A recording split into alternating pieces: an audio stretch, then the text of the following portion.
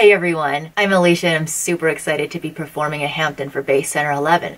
But right now, I'm here to give you the very first update on the Bass Center song election. So far, our electoral college is following the popular vote, with Leprechauns Arise in first, Was Will Be sliding in at a close second, and Ted Nugent coming in third.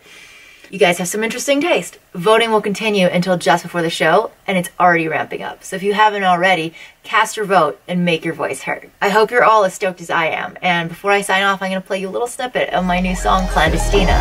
See you there.